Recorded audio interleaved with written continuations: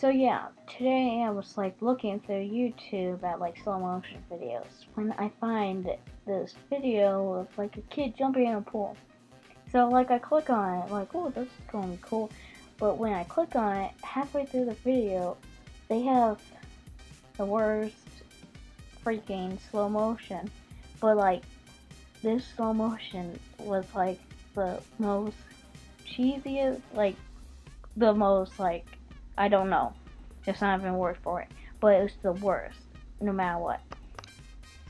But I just hate how like people do like slow motion like videos like when there's like it's like it's not made for it. Like so like imagine you have like a camera that records at like 30 FPS or like 15 FPS.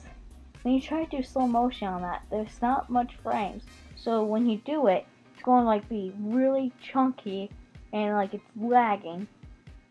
The most annoying part about it is the sounds that it makes.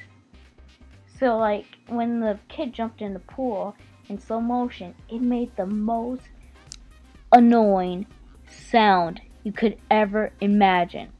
It was oh my god, but still, it's slow motion is just horrible when you don't have like a camera that records at 60 FPS or like 120 at least.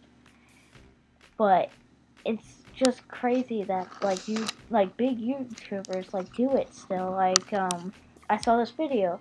It was like he had a freaking a camera that recorded over 20,000 FPS and he still slowed it down with the crappy slow motion.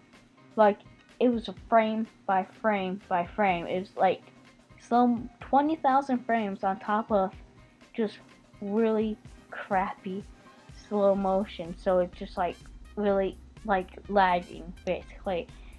But that's like the worst thing ever. That's what I think is wrong with YouTube.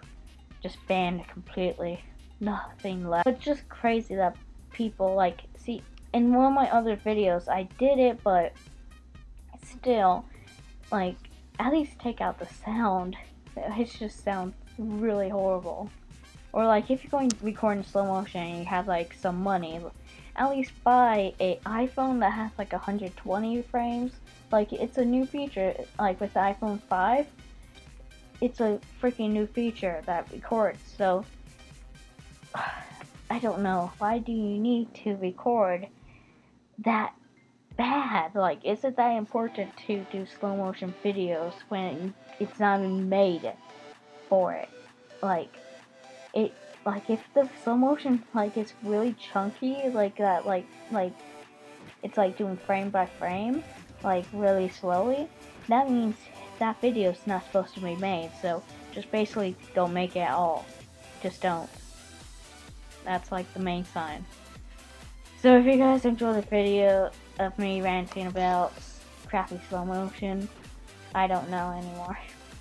Subscribe. That's it. You can leave now.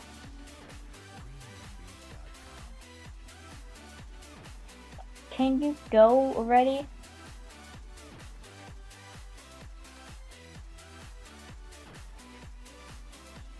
Seriously, leave.